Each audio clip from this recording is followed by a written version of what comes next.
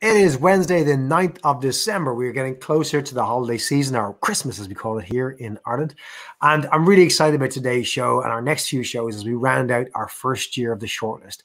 It's been a fantastic year. We've had some amazing guests, and we are excited about our lineup next year.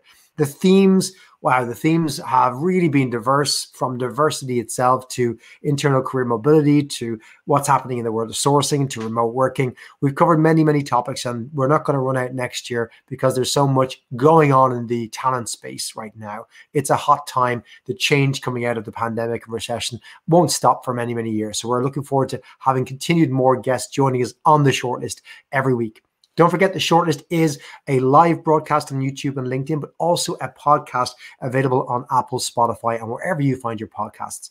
You can find more about our schedule. You can subscribe for uh, alerts by going to socialtalent.com forward slash the shortlist. And if for some reason, if you're listening on your podcast app and you can't find old shows, you can find links there. Or if you're watching live and you want to see what else have these mad people done in the past, you can see lots of our other interviews with some great speakers on that link as well. And you can access them there. So, into today's show. So, I'm really excited to be joined by an old friend um, who I haven't seen in a long time. Firstly, because he moved. Uh, damn you, Peter, for moving. And second of all, he hasn't been able to see pretty much anyone like all of us because we've been locked in our homes and home offices for the last nine months. But I'm Uh, that's given an opportunity for our next guest to really kind of explore something new that his organization was already exploring, but I think COVID gave them more time and space to do this. And I think it probably came at the right time. Groundbreaking, innovative, and accessible. That's what we're here to talk about today. And we're going to talk about how Schneider Electric is successfully turning talent management on its head.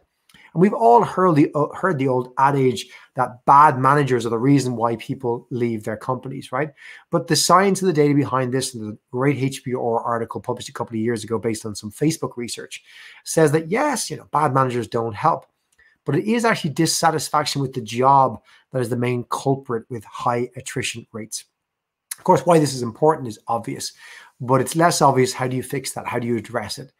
And Schneider Electric, which are one of the largest engineering and energy uh, uh, uh, companies uh, involved in that sector, um, and, and, a company that you may not know much about in the last 10 years as they've evolved and transformed in so many ways across their business.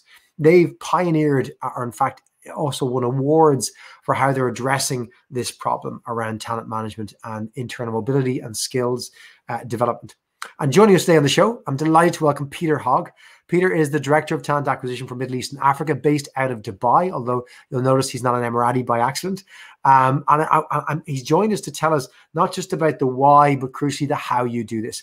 Peter, welcome. Wondering if you could tell our audience a little bit about uh, yourself, uh, how you ended up in Dubai, and about Schneider, its business, in case our audience aren't familiar with it. And then we'll get stuck into today's topic. Johnny, thanks so much for having me. It's great to be back uh, on on uh, on camera with you, and uh, I'd love it if we could do it face to face like the old days. But um, I guess uh, with me being in Dubai, this is as good as it gets, right? So, hi everyone, nice to meet you. Uh, my name's Peter Hogg. I'm the Director of Talent Acquisition for Middle East Africa at Schneider Electric. Uh, Schneider Electric is a, a an energy management and automation company. We're one of the largest companies in our sector, although a lot of people haven't heard of us. Uh, we are about 135,000 people. Uh, we have a turnover of about 28 billion euros, and we're uh, spread out all across the world. So, my uh, my time with Schneider is now about six and a half years. I spent the first five years in the UK, uh, leading and developing the talent acquisition function there from pretty much from scratch. Uh, up to a uh, up to a, a, standard and level of maturity that uh, we were all very proud of, um, and really looked for the next opportunity in my career felt that it was time. Probably uh, five years was too long in that role, and uh, and you know had a really open conversation with my manager and said, look, I, I think I'm going to do this for another six months, and then and then I'm going to do something else. Uh, and exactly what that something else was, I, I didn't know. Uh, we were very open and transparent. Maybe it's in the company. I hoped it would be. Maybe it wouldn't be. Uh, and and here I am in Dubai. So uh, about a year and a half ago, I relocated from south of England, from uh, Worthing, where I lived, to uh, to Dubai uh, with my wife and my five young boys. Uh, it was a really exciting move, a great adventure, something that we were we were ready for. Uh, although if you'd have asked us a year before we came here if we'd have ever done something like this, we'd have said no. Uh, and, and here I've got a team of, uh, of me plus 10 others spread out across Middle East Africa. And um, I'm learning tons about what it means to recruit in this, uh, in this new and exciting market. Well, we've got live audience members uh, logging in from India and pl- plenty saying hello to Dubai. So thank you all for joining in. Uh, those of you who are listening live or watching live, we love your comments and questions for Peter around this topic or insights yourself. So please do jump on YouTube or LinkedIn with your comments and we can share them. But first, and relevant to our topic today, let's jump into this week's news, Peter.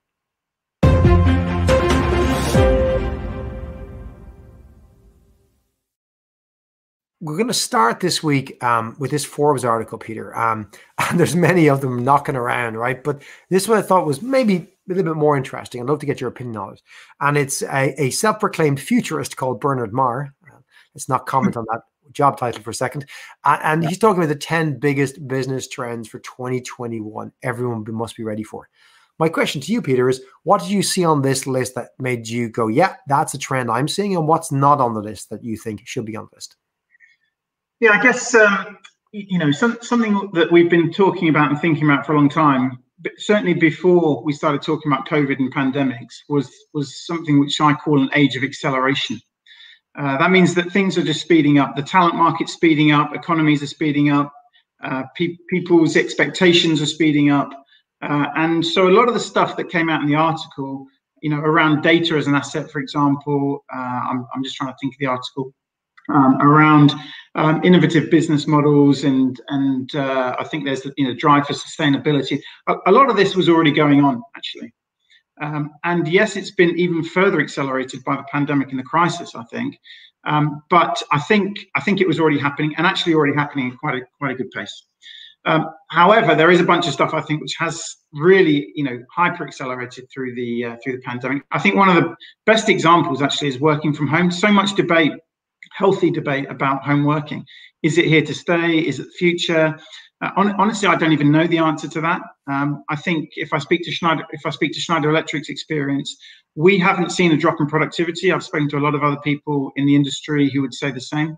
I think what what we uh, need to wait and see is, whilst it may not have, be having an effect on productivity, maybe it's having an effect on creativity and, uh, and I think that's something we really need to look out for. And so, um, as leaders, we really need to monitor that situation, think about how we implement sort of hybrid hybrid models and things like that.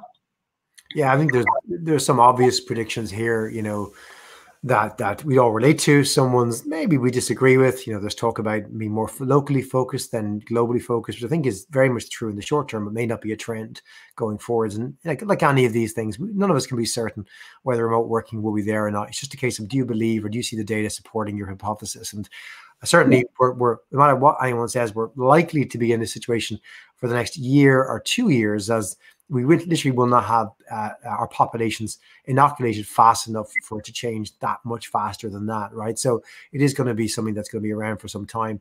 I think what I've seen, Peter, um, uh, the acceleration you spoke of, I ho- wholly agree. There's nothing terribly new. It's just all about accelerations of existing trends. And one has been that move towards particularly TA teams being asked to take a bigger role or join a wider team that focus more on what the actual problem is, which is talent, right? And I think that's very central to our conversation today, which is solving talent problems without necessarily using acquisition as the only way to do that. And I think it's fascinating that your team has, uh, you know, been involved in that for the last 18 months. But let's say critically, it's not just the last eight or nine months. It's been going on well longer than than COVID and the pandemic.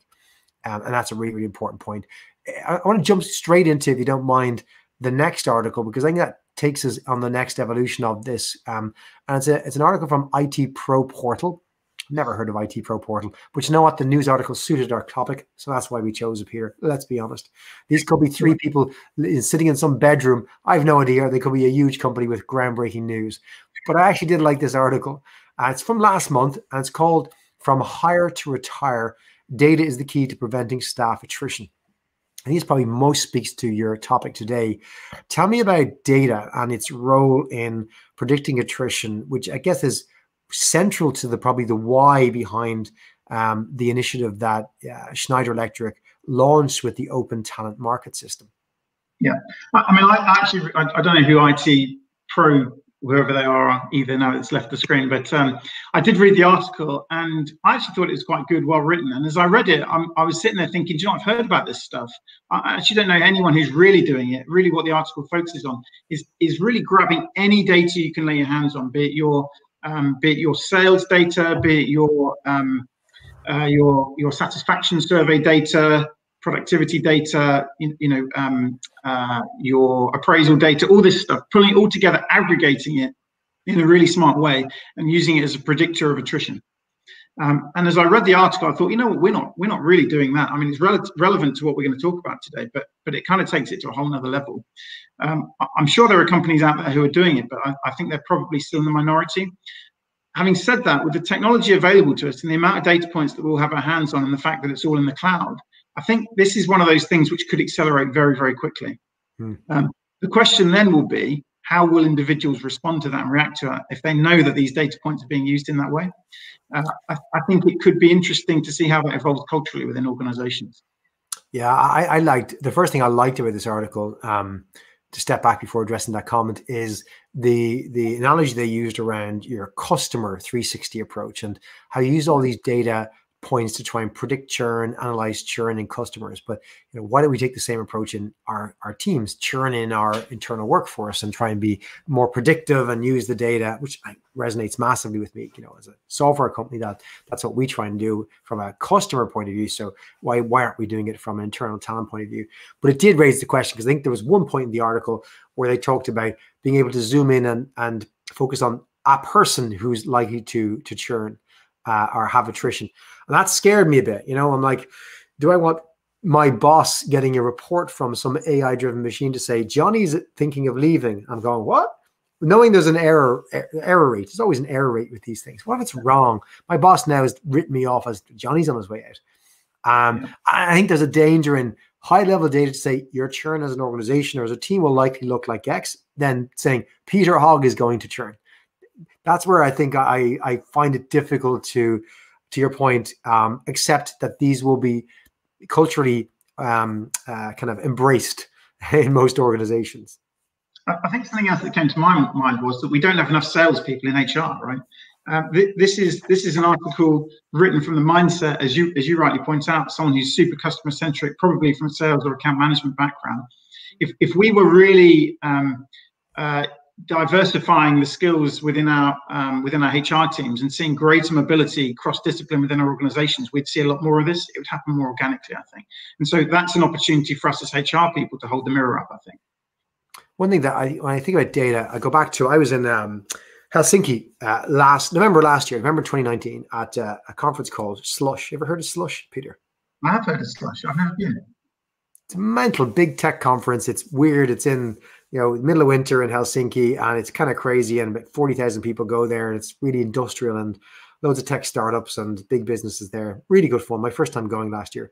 But I saw a great presentation by a company called Peakon. Have you ever heard of Peakon? They're kind of uh, employee engagement software.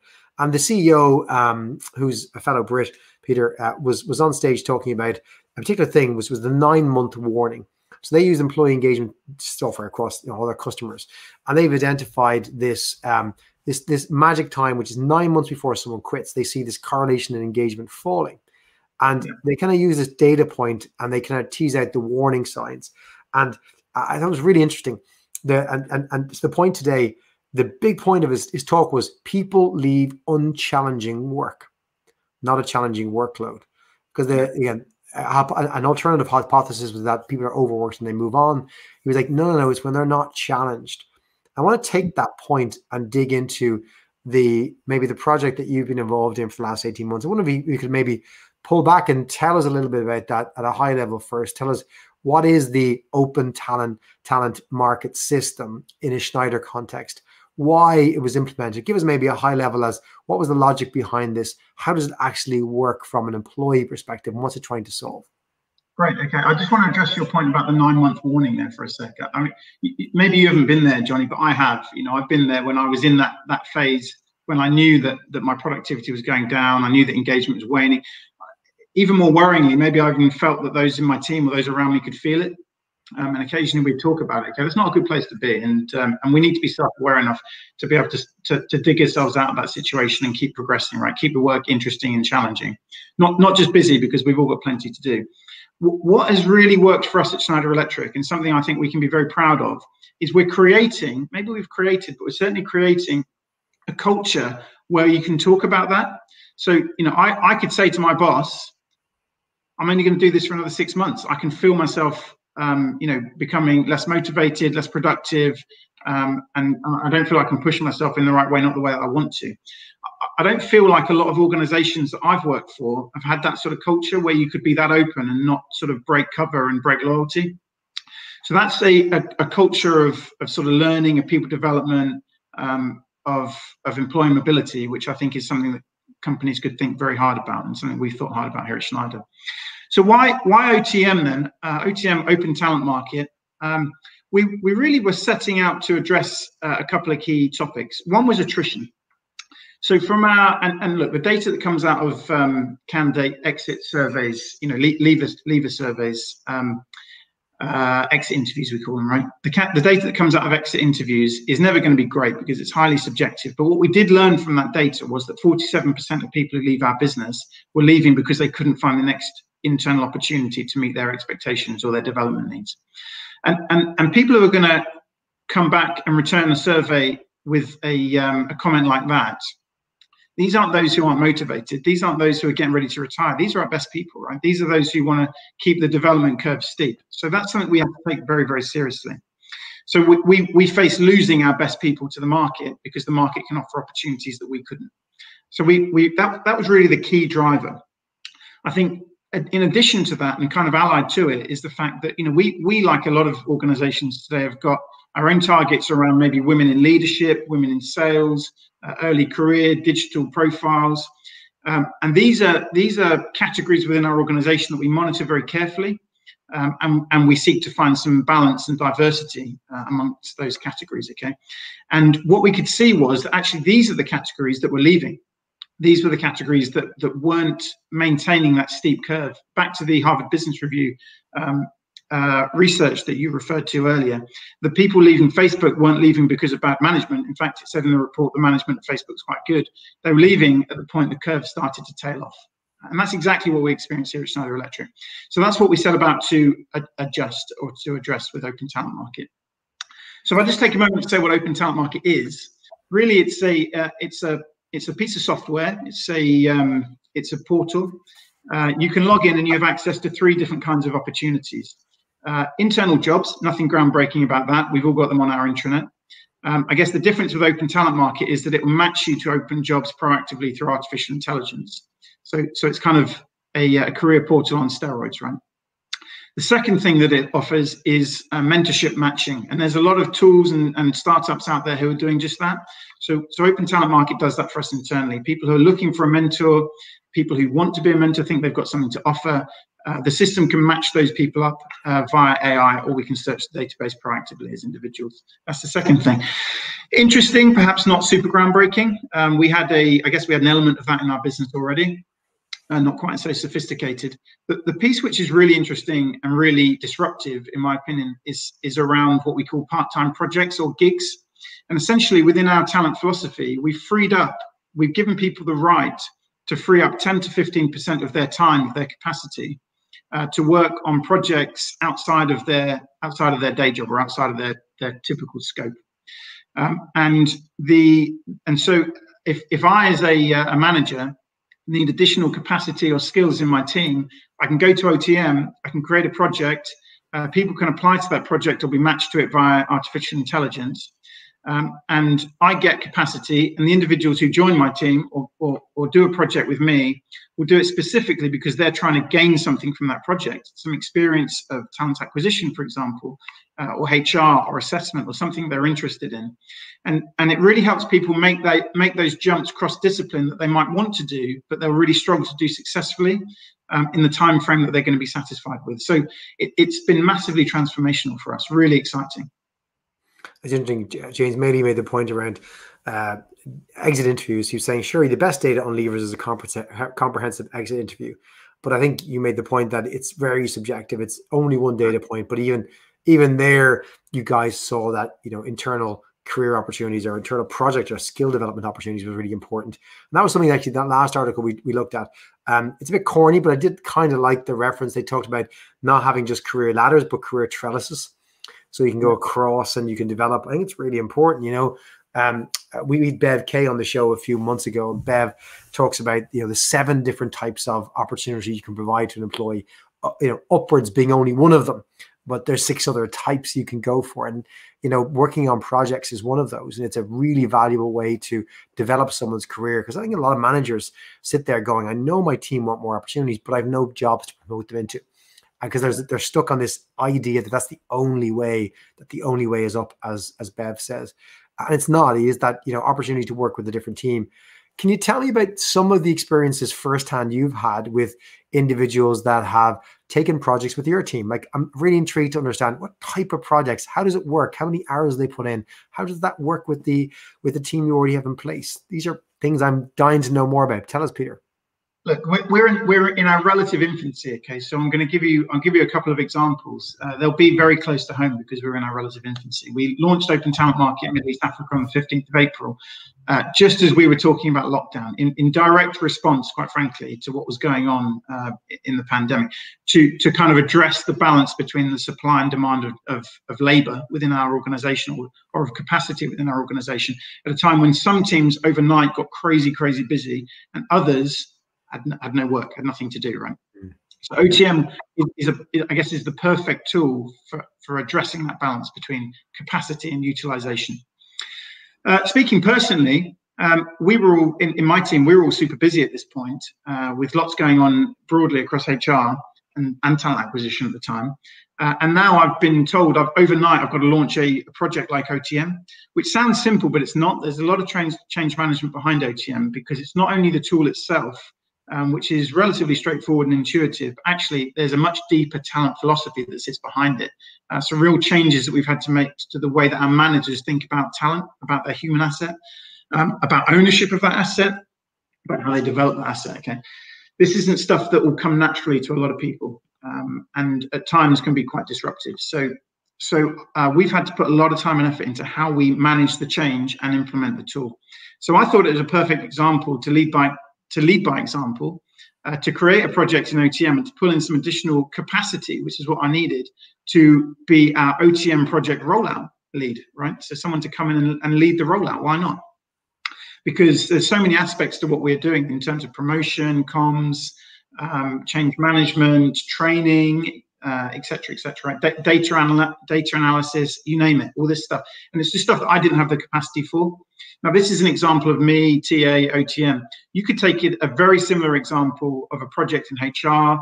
Uh, I don't know, a sales team that are doing a, you know a push into new segments. Uh, finance team at year end, you know, you name it, right? There are lots of different uh, examples of where this this could happen in a different context.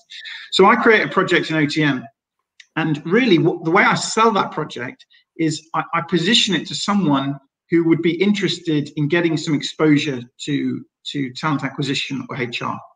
Um, and I put the project out. Immediately, the system will match people via the AI. So as a, as a line manager, I can immediately see profiles that I might want to contact. Um, and then over time, people then have the opportunity to proactively uh, approach the role or, or apply. So after the after about you know three days, I've got 25 profiles. I take 25 profiles down very quickly to to five that I want to interview. Those five are from all over the world and from different um, backgrounds. So I've got people in there from Russia, Latvia, Paris, India, and Dubai. I think is where they came from. Uh, ultimately, and, and just, just think about that from a diversity point of view. Okay, I mean, forget um, the the CVs these guys had, or the backgrounds, or, or the teams that they were sat in. I mean, the the the, uh, the cultural diversity that comes with that, right? Ultimately, I ended up hiring a, a fairly senior finance person with a sales excellence background and data analysis background from um, from Russia, who was interested in Middle East Africa as a zone, was interested in HR as a function, uh, and actually, and I hope I'm not saying too much here, but actually had a uh, a quite specific objective to move to Turkey, which is within my region. Okay, so this was the perfect opportunity for her. It gives her opportunity to get exposure to HR, not just HR, but some of you know the, the leadership team within HR. and the leadership teams within our clusters, right? Our cluster presidents, our cluster leadership teams who we're trying to influence to get this project rolled out. So a great opportunity for that person to get the exposure they're looking for. Uh, but for me, you know, as a recruiter, perhaps I could underestimate the benefit of having a finance person in my team for a while, right? The, the, the analytical skills that they bring, the data skills that they bring, the project management skills that they bring, which um, you know, I'm not saying that they, they don't exist among um, recruitment populations, but not in the measure that I found it from this person, right? At least not in my experience. So for me, that's the perfect example of how this thing works. That person gets a gets um, an opportunity for exposure and development. I get the skills that I need if that person from Russia were to apply for a HR job before having undergone a project or two, they'd probably be unsuccessful. There'd be someone else who's got more experience. If that person's trying to bridge the gap towards their HR entry point, do a couple of projects, develop some track record, develop your network, um, demonstrate your intent. You're much more likely to be successful when you go for your next opportunity, right? Uh, Deco Gerry Crispin's comments, and Gerry's going to be joining us on the show next week. Uh, but Gerry says, you know, Standard Electric or Standard Electric's uh, OTM practice sounds like an excellent adjunct approach to reskilling and upskilling strategies, as well as affecting retention and engagement outcomes. And it does, and diversity inclusion, as you mentioned there as well. Um, you're bang on there, Gerry. I think the question I'll ask you now, Peter, because you, you alluded to earlier on, is the software and the, the principle is, is is is is bang on right. I think everyone would agree this is a great thing. It's a great initiative. I can see how it solves the problems. And as you said, the software is intuitive. It's not complex. Talk to me about the people challenges because I think that's where you typically have challenges around behaviors, around leaders. I imagine, like anything, this you know, in theory, should be this is wonderful. It solves our problems. Everyone's on board and makes it happen. That's not usually how it works, though, Peter. Can you walk me through some of the challenges? That maybe you came across or you're aware of across the business with something like this? And how does one overcome them, or how have you guys overcome them? Well, first of all, OTM, you know, it wasn't a thing. No one knew about it. This is not something that people can identify with quickly. So we had to we had to show the business what it is. We had to tell the story of OTM. Uh, we had to train people and expose people to OTM um, very quickly because we set ourselves some very aggressive targets people aren't um, automatically enrolled in OTM. People have to proactively go in and do it. So we have to very quickly tell the story of OTM um, and in, encourage people to go in and apply, but uh, not not apply. Sorry, to register. But not only do we need them to register, we need them to register to a high standard if we want the AI to do its job. Um, because if we have people just going in there and, and importing their profile from LinkedIn, which they can do in two minutes, not developing the profile, not telling the system about their preferences, etc., um, what we're going to end up with is a bunch of people who have a poor experience because the AI, the AI basically doesn't work for them. Okay, so we've had to uh, go through quite an intensive promotion uh, exercise, and uh, it was great fun actually. I mean, I personally trained uh, over a series of a number of webinars. I personally trained over 2,000 people, and the response was was just amazing, right? Uh, and we very quickly saw that these people started landing in the system, starting to have an experience. That's the one half, okay. But the other half of the system, of course, is the opportunities that exist within the system, right? Um, if we just have a, a, system full of people but no projects, then they again they very quickly become disengaged and uh, and just think it's another white elephant, right? So on the other hand, we've got to um, we've got to sell the system to line managers. You know, help them understand that there is an alternative to recruiting and a hiring freeze. We have this massive um, pool of talent within our organization we can draw on that pool to, to pull in the skills and the capacity that we need. In, in the time that we ran uh, OTM up to the end of October, we unlocked 60,000 hours. I'm not joking, 60,000 hours of capacity through OTM, through people doing gigs. That's globally, by the way. That's not just in Middle East Africa, mm. but nonetheless, uh, it's quite an impressive number. Okay. Um, and and so we've got to explain to managers that you know recruitment isn't your only option. That's the first thing. The second thing is that you know that there is a propensity as a manager, if perhaps if you're less forward thinking, to see it as a threat because not only can you pull talent in, but talent can leave your team. Um, people can say, "I'm taking my 15%. I'm going to go work for HR. I'm going to work for Peter Hall, whatever." Um, so so that was potentially seen as a risk by some. Uh, and I'm not convinced we heard the real story on that because OTM became a very fashionable thing very quickly. Everyone's talking about it. Leadership is is promoting it. To be a naysayer was not fashionable, uh, and we had to try and cut beneath that to really understand what people's true feedback was from a, a I guess, a team leadership point of view, because and the disruption that potentially could go with that. Um, so. Uh, and and with that, we took away hiring man or line managers' authority to approve people leaving their teams. So previously, a line manager would have to approve mobility out. We've taken away that authority as a as a kind of unnecessary barrier to mobility, right? Uh, if someone wants to tender their resignation, they don't need their line manager's approval. So we didn't want to. We, we wanted to put it on the same playing field. Um, they, we, also uh, took out the fact that um, we, we used to have a policy, I think a lot of companies do, where if you want to interview for a job uh, internally, you have to inform your line manager. Uh, we took that out. So there's no need to inform your line manager about what you're doing. We, we take out all these arbitrary barriers that, that take away the confidence of people to apply and to mobilize because it, it, they'll do it on the outside otherwise, right? So, so we have to develop that culture, and and really, a manager has to look at themselves through different set of eyes. You know, they have to really understand their team. I say to my team, no surprises, right? I want to know what your career plans are. I want to know how engaged you are. I want an open dialogue. I want to know how I can support you in your next career move. Um, so, so that's so, so I, I, won't hope I won't be too surprised by what my team pulls on me in respect to OTM. But if I wasn't such an open manager, that could happen, and I might lose sleep over it. Um, so, so these are the sorts of changes and challenges, sort of culturally or philosophically, that we've been grappling with. I think it's important to probably anyone listening um, who's thinking this is great for my my organization, we should do this. You know, my experience with with you, Peter, over the years and Schneider Electric is you guys have a culture of this. I know many years ago talking to you and then talking to your boss Peter at the time, and kind of going, you know, Peter saying, I have conversations with Peter about when he should take my job, and I talk to my boss about when I can take her or his job. And you know, it's an open culture and movement. It wasn't always the way, I believe, in Schneider. Uh, again, talking to some of your colleagues who are there even longer, that's that's relatively new in the last decade or so. But but that culture begun to come first, I think, before you guys did this. I and I know lots of companies who aren't willing to break down those barriers. They still, for internal career mobility purposes, require consent from the manager. The manager can gate or block those things and they are they are real impediments and they'll never get this successfully working without that how have you balanced you know notwithstanding the fact that now you've solved for that people can go apply for whatever they want and they don't have to tell their manager and they can just get on with it what about you know abuses in the system and what i mean from that is what if somebody um, as a manager tries to get more out of the allocated time from the individual or yeah. the manager whilst they can't object to it they're you're putting that person under pressure to not work as much for a different team. Has that come up yet? And if so, how have you guys solved for it? Or what are you thinking about? Great question, Johnny. I, I, guess this we'll see how this thing plays out. I've, I've not seen any uh, examples yet of exploitation. Uh, I'll look out for them and I'll let you know for sure. But um, the the um, the other side of this is that a manager, if if if I as a manager potentially can lose my team through full full mobility or through gigs, you know, part time gigs, um, that that's a problem unless I myself position myself as some sort of talent magnet, right?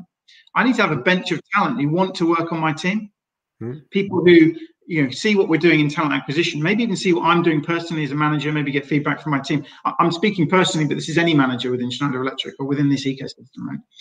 Um, they people need to be able to see uh, what what teams and managers are up to, so they want to get on the bench. You know, they want to be they want to be on the subs bench for what comes next. And that can take away a lot of the anxiety that might come through losing people in your team. But it also means that there has to be good behavior, right? You can't start exploiting people and expecting to have a bench full of, uh, of the next generation. Uh, and, and, I guess this also is a really exciting way of solving for things like succession planning, for example.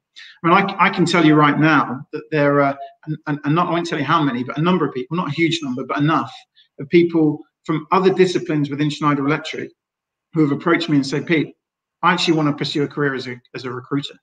That's what I want to do. You know. I mean, in, in the UK, we had exactly the same scenario. Do you know? You know what happened? We had someone resign our business from our customer care center. Um, uh, it's kind of the first the first line um, customer care center within our business. Like it's, it's like a call center, but it's technical. And anyway, we had a superstar on that team who one day tendered their resignation out of the blue. Um, and I got a call from that person's manager who said, This person's just resigned they're going to go and join a recruitment agency.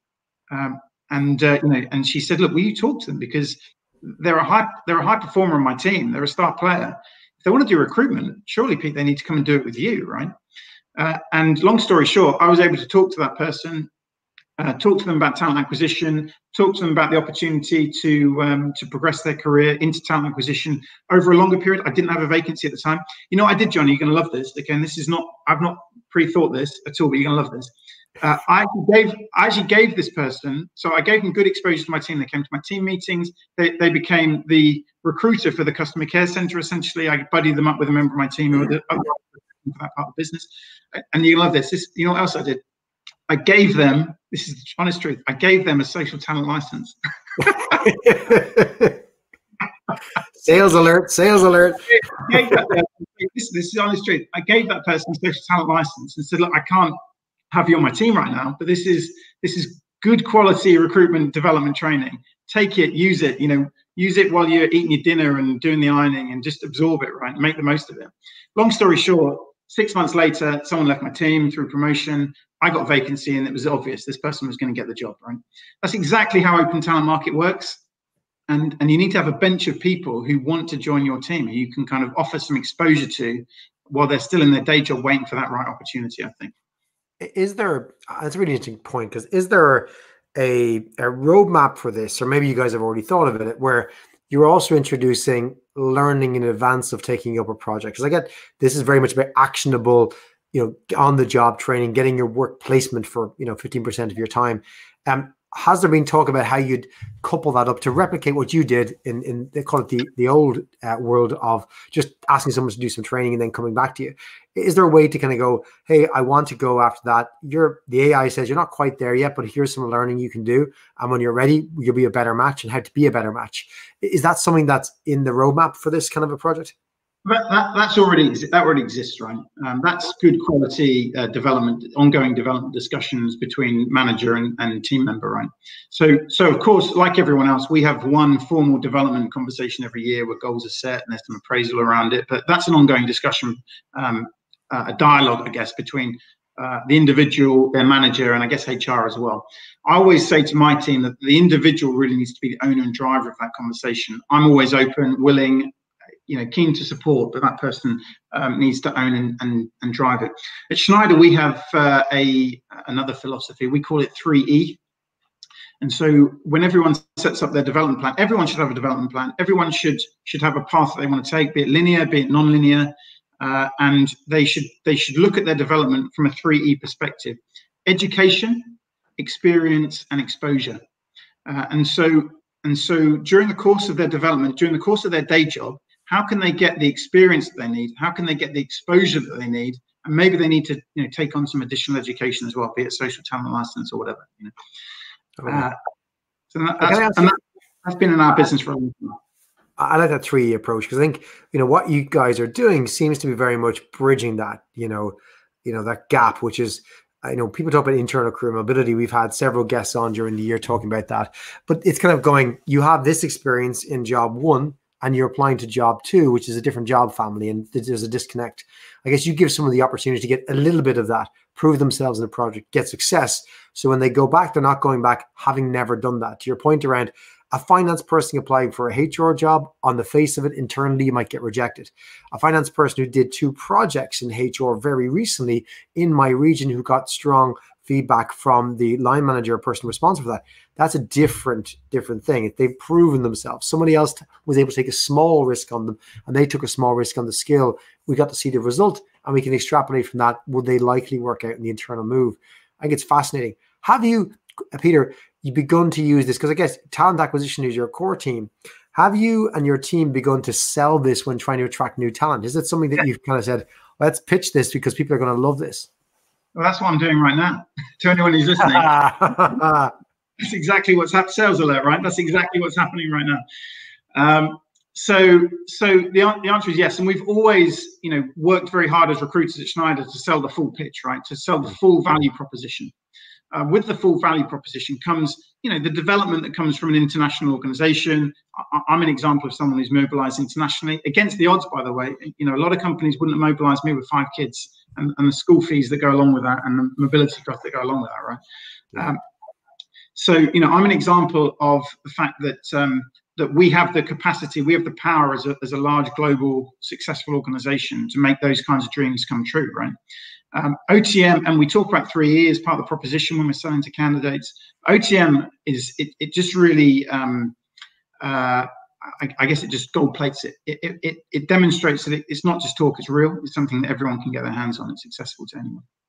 Yeah, I really I think it it is an appealing thing for someone coming in to go, this is real. We have this approach. Uh, even if the job isn't perfect for me, I have opportunities not just to move internally because that seems a bit distant and it seems probably difficult to do, and you probably have to be there a certain amount of time. But you can just go work 15% of the time in a different project. Are, are, there restrictions around that? Do you have to have practical things like only when you're up and running six months can you apply, or, or how does it work?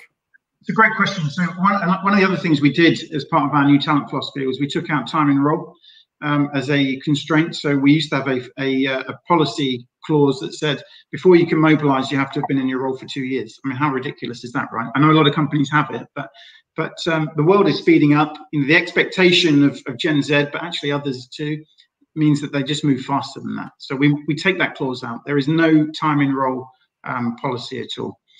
Um, so so um, yeah, th- things things within OTM are definitely moving. Uh, are definitely moving faster. If if someone listening to this is thinking we need this, uh, or else I'm, they've been tasked with trying to come up with something that solves for the same problem. What would be your top advice, piece of advice, or, or piece of advice around this particular project? If somebody else wants to look at internal mobility, reskilling, creating a gig economy internally, a marketplace like this, um, because I guess you could buy software, but software, I imagine, isn't the solution, right? It's part of the solution, but it isn't the solution by itself. What are the most important factors to consider to make a project like this successful, in your opinion? That's such a tough question. I think I think you've got to be very clear about uh, about what you want to achieve from it. Okay, we we wanted the benefits of primarily solve attrition, solve solve high value categories leaving our business. You know, uh, the, the, if we just if we just consider that the best quality people are those that are most likely to leave. Okay, under off under under often typical circumstances. So attrition, high value categories, uh, co- cost of recruitment, cost of attrition, taking that into account. Um, diversity came into it was a was a big topic. Um, I mean, just imagine we don't have enough women in our sales force. I, would love to see lots of technical companies that do, right? We don't. Um, we can use OTM to start to bridge gaps like that as we as we get some of the the high performing, great quality, highly talented women in our business getting the exposure that they need to sales. You know that that was a sales is just one example. That was a uh, I guess a, a, key driver as well for OTM. The other was, and Gerry called it out, the great Gerry Crispin, he called it out, um, upskill, reskill, right towards our digital future the, the business is becoming more digital all the time. It's what our customers expect of us. We talk about digital profiles, often not even knowing what that means this time next year. Um, and so we need a way of keeping people in the business and developing them quickly enough, but but also um, recycling them quickly enough as the business evolves and changes, right? Yeah, I think, I think it's a fantastic initiative. It's one that I hope to see many more examples of out there as you come out of the pandemic and looking at trends you know making more use of your your internal uh, teams giving them more opportunities it solves business problems to Gerry's point earlier on it also drives more engagement it solves um, the issue of, of, of inclusivity and, and, and, and diversity or can do it can hit so many buttons it's a cross team project. I imagine this isn't something that any one team, TA on its own or talent development or L&D can't be the only stakeholders. This, I imagine, has been a cross team collaborative project in the business. Yes. Absolutely. Yeah, absolutely. So um, it's been driven by TA uh, and HR more broadly. Um, we're very proud of that. It didn't have to get driven by TA. It could could just as easily been driven by town management, um, but we got it, and we're I'm very proud that we did. Um, and yeah, but it's something that has to be has to get the engagement of the whole company, right? To to develop the philosophy and the culture that sits behind it, and it will fail without that. To your earlier question, mm. and with, without that culture and philosophy, if you're not ready for it, it will just fail. You'll have lots of people who had high expectations that came to nothing uh, and and maybe even they had bad. It didn't just come to nothing, but they had bad experience through no or poor feedback, for example, or, or poor poor experience on projects, or, um, or, or line managers, you know, not playing by the rules as you called out earlier by not giving time and space. If that if those things didn't happen, the whole thing would fall on its head. Uh, it would cause an engagement issue that might be hard to recover from. Not not just in the short term either, in, in the longer term. I think as people lose faith in in development opportunities within the organisation. Peter, it's been fascinating hearing about this project. It's an award winning project. I must reiterate again. Uh, thanks for sharing it. We're at the point where I need to ask you once again for advice, but this time, perhaps more generally, if you can leave us with your advice for our short list of advice from our guests, advice that you might uh, share from your own experience or advice that has been shared to you in the past that you want to reshare with our audience, um, what, what would that be? Uh, I, I, think I think you know so many things that I uh, I could share, but I think as recruiters, as talent acquisition specialists, we need to look at ourselves in the mirror uh, as as professionals, as organisations, as HR teams, and look at what artificial barriers we put in place to mobility. We've already spoken about time and role. We've spoken we've spoken about permission or, or approval to to apply. We've spoken about um, approval to mobilise and things like that. Look at yourself in the mirror. Look at these artificial barriers to mobility and see what you can do to start to remove some of those barriers and see what it does for your organization. Uh, see what it does for your uh, for, for, how competitive you are in the talent market. Uh, see what it does for your talent flows when you look at your talent flows in LinkedIn, for example, um, and uh, and see what it does for your attrition. I think that is something which I'd love to see more companies doing. Yeah, I think this year has taught us that we all have to be brave and try different things. And uh, I think it's trying to break down those artificial barriers, like you say, Peter.